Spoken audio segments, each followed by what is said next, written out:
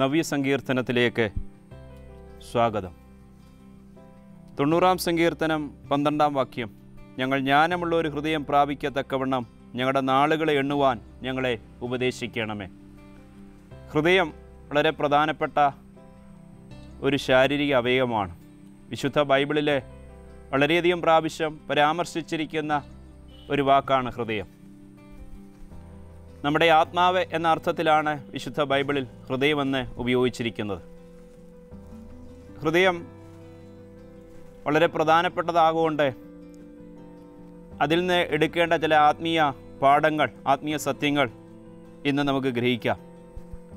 പലതരത്തിലുള്ള ഹൃദയങ്ങളെക്കുറിച്ച് വിശുദ്ധ ബൈബിൾ ഓർമ്മിപ്പിക്കുന്നു. എരമ്യ പതിനേഴിന്റെ ഒൻപതിൽ നാം വായിക്കുന്നത് കപടമുള്ള ഹൃദയം വിഷമുള്ള ഹൃദയം.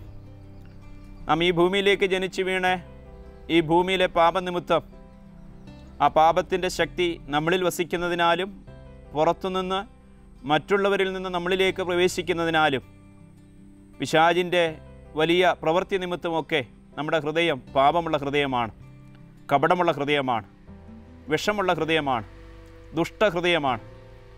എന്നാൽ വിശുദ്ധ ബൈബിളിൽ ദൈവം വലിയൊരു വാക്തത്വം നമുക്ക് നൽകിത്തരികയാണ്. ഞാൻ നിങ്ങൾക്കൊരു പുതിയ ഹൃദയം നൽകിത്തരും. എഗസ്കേൽ മുപ്പത്തിയാറിന്റെ ഇരുപത്തിയാറിൽ നാം വായിക്കുന്നുണ്ട്. എഗസ്കേലിലും എരമിയാവിലും ഒക്കെ ദൈവം ആവർത്തിച്ച് പറയുന്നുണ്ട് ഞാൻ നിങ്ങൾക്കൊരു പുതിയ ഹൃദയം നൽകിത്തരും. പ്രിയമുള്ളവരെ കർത്താവായ യേശു ക്രിസ്തുവിൽ നാം വിശ്വസിച്ചപ്പോൾ നമ്മുടെ പാപമുള്ള ഹൃദയം ദുഷ്ടതയുള്ള ഹൃദയം അശുദ്ധിയുള്ള ഹൃദയം കപടമുള്ള ഹൃദയം വിഷമുള്ള ഹൃദയം ദൈവം മാറ്റി ദൈവം നമുക്കൊരു പുതിയ ഹൃദയത്തെ പുതിയൊരു ആത്മാവിനെ തന്നിരിക്കുകയാണ്. അങ്ങനെ പാപത്തിന്റെ അംശവും പാപത്തിന്റെ ശക്തിയും പാപത്തിന്റെ സ്വാധീനവും പാപത്തിന്റെ വലിയ തകർച്ചയുമുണ്ടായിരുന്ന പഴയ ആത്മാവിനെ പാപമുള്ള പഴയ ഹൃദയത്തെ മാറ്റി ഒരു പുതിയ ഹൃദയം ദൈവം നമുക്ക് തന്നിരിക്കുകയാണ്. അങ്ങനെ പുതിയ ഹൃദയം പ്രാപിച്ച നാം പിന്നെയും ജീവിതത്തിൽ ശ്രദ്ധിക്കേണ്ട ചില ആത്മീയ കാര്യങ്ങൾ. ഈ ഭൂമിയിൽ ജീവിക്കുന്നതിനാൽ പാപമുള്ള ലോകത്തിലും ജഡത്തിലും വസിക്കുന്നതിനാൽ പാപത്തിന്റെ സ്വാധീനങ്ങൾ വീണ്ടും നമ്മളിലേക്ക് കടന്നു വരാം അതുകൊണ്ട് ഈ പുതിയ ഹൃദയത്തിൽ പറ്റുന്ന കളങ്കങ്ങളെ അകൃത്യങ്ങളെ നാം കഴുകേണ്ടത് ആവശ്യമാണ്. ദാവീദിന്റെ ജീവിതത്തിൽ പരാജയം പറ്റിയപ്പോൾ ദാവീദ് ദൈവത്തോട് പറയുകയാണ് സങ്കീർത്തനം അൻപത്തിയൊന്നിന്റെ പത്താം വാക്യം ദൈവമേ നിർമ്മലമായൊരു ഹൃദയം എന്നിൽ സൃഷ്ടിച്ച് സ്ഥിരമായൊരു ആത്മാവിനെ എന്നിൽ പുതുക്കേണമേ. ഇപ്പോൾ ഒരിക്കൽ പാപമുള്ള ഹൃദയം ആയിരുന്ന ഉണ്ടായിരുന്ന നമുക്ക് കർത്താവിൽ വിശ്വസിച്ചപ്പോൾ ലഭിച്ച പുതിയ ഹൃദയത്തിൽ കളങ്കങ്ങളോ പരാജയങ്ങളോ അകൃത്യങ്ങളോ അശുദ്ധികളോ ഒക്കെ പ്രവേശിക്കുമ്പോൾ സധൈര്യം കർത്താവിന്റെ അടുക്കിലേക്ക് ഓടിച്ചെന്ന് നാം പ്രാർത്ഥിക്കണം. ദൈവമേ അബദ്ധം പറ്റിപ്പോയി തെറ്റുപറ്റിപ്പോയി എന്നോട് ക്ഷമിക്കണമേ. എന്റെ ഹൃദയത്തെ വീണ്ടും നിർമ്മലമാക്കണമേ. ശുദ്ധീകരിക്കണമേ. അങ്ങനെ പുതിയ ഹൃദയം ലഭിച്ച നിർമ്മലമായ ഹൃദയം ലഭിച്ച ആ ഹൃദയത്തെ ശുദ്ധിയുള്ള ഹൃദയമെന്നാണ് യേശു വിശേഷിപ്പിച്ചത്. അതുകൊണ്ടാണ് മത്തായി അഞ്ചിന്റെ അഞ്ചിൽ യേശു പറഞ്ഞത് ഹൃദയശുദ്ധിയുള്ളവർ ഭാഗ്യവാന്മാർ അവർ ദൈവത്തെ കാണും. ശുദ്ധിയുള്ള ഹൃദയം ആ ശുദ്ധിയുള്ള ഹൃദയത്തോടുകൂടെ നമുക്ക് ദൈവത്തെ കാണുവാൻ കഴിയും. മുൻപിൽ ദൈവത്തിന്റെ സവിശേഷമായോ പ്രത്യേകമായോ മനുഷ്യനുണ്ടാക്കിയ ഒരു രൂപമില്ലെങ്കിൽ പോലും നാം കർത്താവിന്റെ അടുക്കിലേക്ക് വരുമ്പോൾ ശക്തിയോടെ കർത്താവിൽ വിശ്വസിക്കുമ്പോൾ ആത്മാവായിരിക്കുന്ന ദൈവത്തെ ശുദ്ധിയുള്ള ഹൃദയം കൊണ്ട് കാണുവാൻ കഴിയും. അങ്ങനെ ആത്മാവിൽ ദൈവത്തെ കാണുന്ന ഒരനുഭവമാണ് വിശുദ്ധ ബൈബിൾ വിവക്ഷിക്കുന്നത്. ഹൃദയശുദ്ധിയുള്ളവർ ഭാഗ്യവാന്മാർ അവർ ദൈവത്തെ കാണും.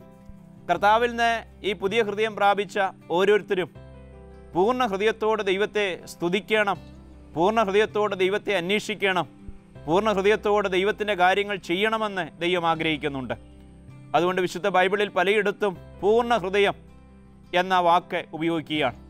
ഒൻപതാം സങ്കീർത്തനം ഒന്നാം വാക്യത്തിൽ വായിക്കുന്നുണ്ട് ഞാൻ പൂർണ ഹൃദയത്തോടെ നിനക്ക് സ്തോത്രം ചെയ്യും. ഏറ്റവും വലിയ കൽപ്പന ഏതെന്ന് യേശുവിന്റെ അടുക്കൽ ചോദിച്ചപ്പോൾ യേശു നൽകുന്ന മറുപടി പൂർണ ഹൃദയത്തോടെ പൂർണ ആത്മാവോടെ പൂർണ ശക്തിയോടെ പൂർണ മനസ്സോടെ നിന്റെ ദൈവമായ കർത്താവിനെ സ്നേഹിക്കുക സേവിക്കുക. ഇപ്പോൾ നിറഞ്ഞ ഹൃദയം പൂർണ ഹൃദയം ദൈവമക്കൾക്ക് ആവശ്യമാണ്. നിറഞ്ഞ ഹൃദയത്തോടുകൂടെ പൂർണ ഹൃദയത്തോടുകൂടെ സ്തുതിക്കുകയും ആരാധിക്കുകയും ദൈവത്തെ സ്നേഹിക്കുകയും ദൈവത്തെ സേവിക്കുകയും ചെയ്യേണ്ടത് ആവശ്യമാണ്. പൂർണ ഹൃദയം നാം ദൈവത്തിന്റെ സന്നിൽ പൂർണ ഹൃദയത്തോടെ ദൈവത്തെ അന്വേഷിക്കുമ്പോൾ തീർച്ചയായിട്ടും നാം അവനെ കണ്ടെത്തും. പൂർണ ഹൃദയത്തോട് നാം പ്രാർത്ഥിക്കുമ്പോൾ നമ്മുടെ പ്രാർത്ഥനയ്ക്ക് ദൈവം വേഗത്തിൽ മറുപടി തരും. ജീവിതത്തിൽ കളങ്കങ്ങൾ പറ്റിപ്പോയെങ്കിൽ ദാവീദ് പ്രാർത്ഥിച്ചതുപോലെ ദൈവമേ നിർമ്മലമായ ഒരു ഹൃദയം എന്നിൽ സൃഷ്ടിക്കണമേ.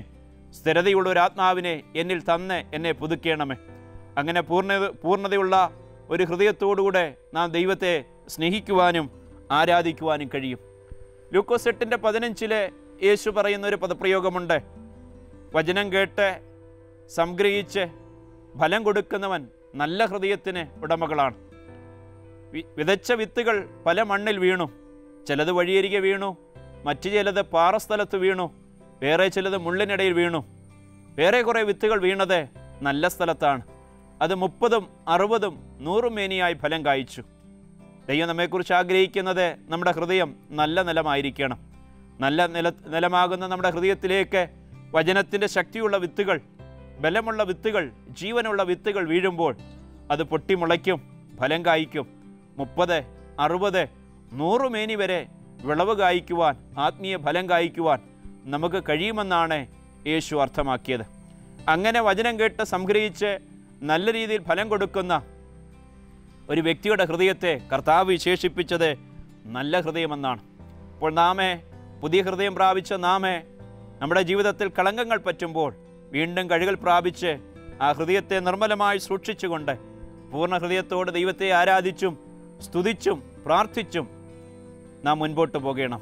അതോടൊപ്പം തന്നെ ഹൃദയത്തിൽ വചനം സംഗ്രഹിച്ച് നല്ല രീതിയിൽ ഫലം കൊടുത്ത് നാം മുൻപോട്ട് പോകുമ്പോൾ നാം നല്ല ഹൃദയത്തിന് ഉടമകളായി തീരുക സദൃശ്യവാക്യത്തിൽ സലോമോൻ പറയുന്ന ഒരു പദപ്രയോഗമുണ്ട്. സദൃശ്യവാക്യം പതിനേഴിന്റെ ഇരുപത്തിരണ്ടിൽ സന്തുഷ്ട ഹൃദയം നല്ലൊരു ഔഷധമാകുന്നു. ചിലർ എപ്പോഴും വാടിയ മുഖത്തോടെ വാടിയ അനുഭവത്തിൽ ജീവിക്കുന്നു. സന്തുഷ്ട ഹൃദയത്തോടുകൂടെ സന്തോഷമുള്ള മുഖത്തോടുകൂടെ ജീവിക്കുന്നെങ്കിൽ അതൊരു വലിയ അനുഗ്രഹമാണ്. സന്തുഷ്ട ഹൃദയം നല്ല ഒരു ഔഷധമാണ്. അനേക മരുന്നുകളേക്കാൾ അനേക ചികിത്സയേക്കാൾ നമ്മുടെ രോഗത്തെ സൗഖ്യമാക്കുവാൻ നമ്മുടെ ജീവിതത്തിൽ സന്തോഷം നൽകിത്തരുന്ന ഒരനുഭവത്തിൽ മുൻപോട്ട് പോകുവാൻ നമുക്ക് കഴിയുന്നത് സന്തോഷമുള്ള സന്തുഷ്ടമുള്ള ഹൃദയമാണ്. അങ്ങനെ സന്തുഷ്ടമുള്ള ഹൃദയത്തോടുകൂടി ജീവിക്കുവാൻ നാം നമ്മെ തന്നെ സമർപ്പിക്കണം. നാം വായിച്ച വാക്യത്തിൽ കണ്ടത് ജ്ഞാനമുള്ള ഹൃദയമെന്നാണ്. വൈസ് ഹാർട്ട് എന്താണ് ജ്ഞാനമുള്ള ഹൃദയം? തങ്ങളുടെ ജീവിതത്തിന്റെ ആയുസിന്റെ ചുരുക്കം മനസ്സിലാക്കുന്നതാണ് ജ്ഞാനമുള്ള ഹൃദയം. മോശയുടെ പ്രാർത്ഥിക്കുകയാണ് ദൈവമേ ഞങ്ങൾ ജ്ഞാനമുള്ള ഒരു ഹൃദയം പ്രാപിക്കത്തക്കവണ്ണം ഞങ്ങളുടെ നാളുകളെ എണ്ണുവാൻ ഞങ്ങളെ ഉപദേശിക്കണമേ. എഴുപത് വർഷം ഈ ഭൂമിയിൽ ജീവിക്കുന്ന ഒരാൾ ഏകദേശം ഇരുപത്തി അയ്യായിരം വർഷ ദിവസങ്ങൾ ജീവിക്കുന്നു. എൺപത് വർഷം ജീവിക്കുന്ന ഒരാൾ ഇരുപത്തി ഒൻപതിനായിരത്തിലധികം ദിവസങ്ങൾ ഈ ഭൂമിയിൽ ജീവിക്കുന്നു. തൊണ്ണൂറ് വർഷം ഈ ഭൂമിയിൽ ജീവിക്കുന്ന ഒരാൾ മുപ്പത്തി ഈരായിരത്തിലധികം ദിവസങ്ങൾ ജീവിക്കുവാൻ അവസരമുണ്ടാകുന്നു.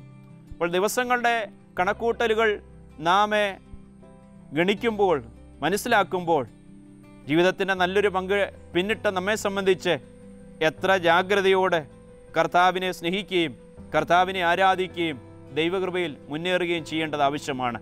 ആയുസ് വേഗം തീരും നാം പറന്നു പോകേണ്ടുന്നവരാണ്. നമ്മെ ഏൽപ്പിച്ച വിലപ്പെട്ട ദൗത്യങ്ങളുണ്ട് ചെയ്തു തീർക്കേണ്ട വിലയേറിയ കാര്യങ്ങളുണ്ട്. കർത്താവിന്റെ സ്നേഹത്തിന്റെ സാക്ഷിയായി സുവിശേഷത്തിന്റെ സാക്ഷിയായി ഈ ചെറിയ ആയുസ്സിലെ നിറഞ്ഞ ഹൃദയത്തോടെ ആരാധിച്ച് മുൻപോട്ട് പോകുവാനാണ് ദൈവം നമ്മെ വിളിച്ചിരിക്കുന്നത്. അതുകൊണ്ട് പ്രിയമുള്ളവരെ ദൈവത്തിന്റെ വചനത്തിലെ ഈ ചിന്തകൾ ഇന്ന് നാം ഇവിടെ സംഗ്രഹിച്ച് പറയുമ്പോൾ ഒരിക്കൽ കപടവും വിഷവുമുള്ള ഹൃദയമായിരുന്ന നമുക്ക്. കർത്താവ് ഒരു പുതിയ ഹൃദയം തന്നിരിക്കുകയാണ്. ആ പുതിയ ഹൃദയത്തിൽ കളങ്കങ്ങൾ അകൃത്യങ്ങൾ അശുദ്ധികൾ അറിഞ്ഞും അറിയാതെയൊക്കെ പറ്റുമ്പോൾ കർത്താവിന്റെ അടുക്കിലേക്ക് ചെന്ന് യേശുവെ നിന്റെ രക്തത്താൽ എന്നെ കഴുകണമേ ശുദ്ധീകരിക്കണമെന്ന് പ്രാർത്ഥിച്ചുകൊണ്ട് ഹൃദയത്തെ വീണ്ടും ശുദ്ധമാക്കി നിറഞ്ഞ ഹൃദയത്തോടെ പൂർണതയുള്ള ഹൃദയത്തോടെ ദൈവത്തെ ആരാധിക്കുകയും സ്തുതിക്കുകയും ചെയ്ത് നമ്മുടെ ഹൃദയത്തിൽ വചനം സംഗ്രഹിച്ചുകൊണ്ട് അതിനെ നല്ല ഹൃദയമാക്കി സന്തോഷത്തോടെ സമാധാനത്തോടെ ചിരിയോടുകൂടെ നാം ഈ ആഴ്ച കഴിക്കുന്നെങ്കിൽ സന്തുഷ്ട ഹൃദയത്തിനുടമകളായി ഈ ആയുഷിന്റെ പരിമിതി മനസ്സിലാക്കി ജ്ഞാനമുള്ള ഹൃദയത്തിനുടമകളായി ജീവിക്കുവാൻ നമ്മെ തന്നെ സമർപ്പിക്കാം.